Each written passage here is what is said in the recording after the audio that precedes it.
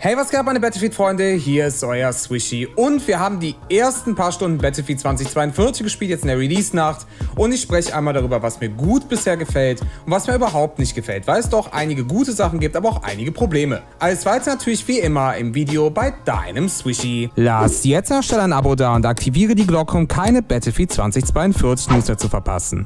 Weiterhin freue ich mich über deinen Daumen nach oben auf dem Video. Beginnen wir mit dem Herzstück, nämlich das Gunplay und Fahrzeug-Gameplay vom neuen better fields.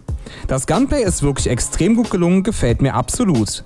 Auch die Fahrzeugsteuerung für Panzer fühlte sich ein Stück weiter präzise an als noch in der Beta. Große Eindrücke der Jet- und Helikoptersteuerung kann ich leider an der Stelle nicht wirklich aussagekräftig wiedergeben, da ich in den vergangenen Teilen auch einfach zu wenig geflogen bin, um das Ganze so jetzt in Battlefield 2042 zu vergleichen. Weiter geht's auf jeden Fall mit dem Map-Design und vor allem der Grafik und hier muss man sagen, die Maps sind wirklich abwechslungsreich und sind auch eigentlich ganz gut gestaltet.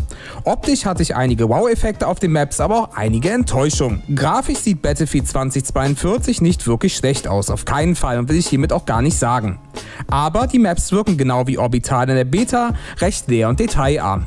Das hatte ich damals schon kritisiert und das haben viele auch schon kritisiert, dass es eben fast schon aussieht wie ein Testgelände von irgendwelchen Spielen. Man sagte ja von den ganzen Trailern, es wird halt eben detailreicher und vor allen Dingen deutlich mehr Vielfalt kriegen, beziehungsweise eher ja, Liebe zum Detail, aber es hat halt eben immer noch ein bisschen dieses Gefühl von viel zu offenen Flächen mit viel zu wenig drumherum. Die Map-Areale sehen ja keineswegs schlecht aus, zum Beispiel auch Kaleidoskop, die Stadtmap gefällt mir wirklich ganz gut. Es sieht bunt aus, sieht auch wirklich gut aus, die Stadt, aber gerade Close-Quarter-Maps wie Kaleidoskop sind nicht wirklich voll, die haben immer noch riesen offene Flächen und es wirkt halt eben so, als würden gerade diese kleinen Teile wie zum Beispiel Bäume, Mülleimer, Bänke, was auch immer, halt einfach zu wenig vorhanden sein, somit sieht das Ganze leer aus. Zusätzlich negativ fielen mir gravierende Probleme vor allem in der Release-Nacht auf.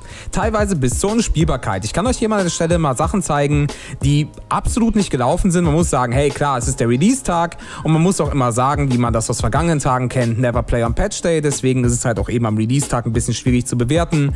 Aber was mir große Sorgen macht, weil es auch in der Beta schon der Fall war, ist, dass Schüsse total schlecht teilweise connecten. Ich habe hier mal einen Gameplay-Ausschnitt, wo ihr seht, wo ich einfach komplett auf den Körper ziele und absolut gar keinen Hitmarker bekomme oder sonstiges. Die Schüsse kamen einfach nicht an. Teilweise killt man Leute, man kriegt keine Benachrichtigung, der Kill zählt nicht und, und, und, und. Eben bei einer Durchbruchsmap waren wir sehr gut in unserem Team, waren eben am letzten Viertel angekommen und was war?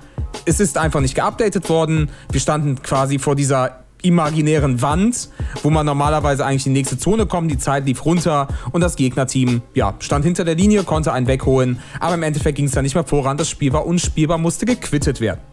Also ihr merkt, es gab sehr viele Probleme in der Release-Nacht und es gab auch das eine oder andere, was vermutlich in den nächsten Tagen nicht besser wird. Man muss sagen, das Map-Design ist gut, ja, aber es ist eben nicht so, wie ich mir das Ganze vorgestellt habe, dass eben diese detailreichen Sachen noch kommen werden. Die sind halt eben nicht gekommen, die werden auch erstmal nicht nachgereicht werden. Vielleicht wird das mit anderen Maps später anders sein, aber die Release-Maps werden eben nicht detailreich sein. Aber wir reden auch hier nur von Battlefield 2042 und nicht von den Portal Maps. Die sehen natürlich klassisch wie in Battlefield 3 und Battlefield 4 ebenso detailreich aus, wie sie auch damals waren. Und das ist auch eben ein guter Punkt. Mir fehlt halt eben diese Detailverliebtheit wie in Battlefield 3 und Battlefield 4.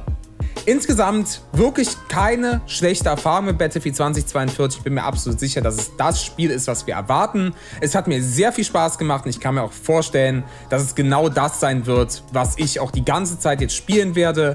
Ich habe die ganz verschiedenen Modis natürlich noch nicht stundenlang gespielt. Es geht wirklich nur um den reinen Ersteindruck der Release-Nacht, damit ihr schon mal ein kleines Feedback von mir habt zum Spiel. Also, wie gesagt, Gunplay super, Fahrzeug-Gameplay hat mir gut gefallen, vor allen Dingen vom Panzer. Map-Design gefällt mir gut, abwechslungsreich.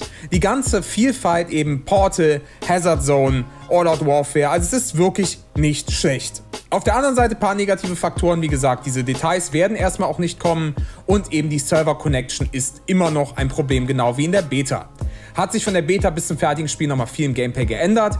Ja, aber auch nein. Wie gesagt, es gibt altbekannte Probleme, aber es wurde auch viel verändert, gerade im Positiven, dass zum Beispiel Maria Falk einen deutlich besseren Eindruck macht noch als in der Beta und vor allen Dingen gerade die Spezialisten-Balancing ein bisschen am Anfang sogar außer Kraft gesetzt wurde, da teilweise auch Navin Rao, also mit dem Orten, eben nur auf Stufe 25 erstmal verfügbar ist und nicht direkt zu Beginn, genau eben wie Webster McKay mit dem Enterhaken. Genug auch von mir an der Stelle, hast du bereits Battlefield 2042 gespielt und wenn nicht, was sagst du bisher zu meinem Eindruck?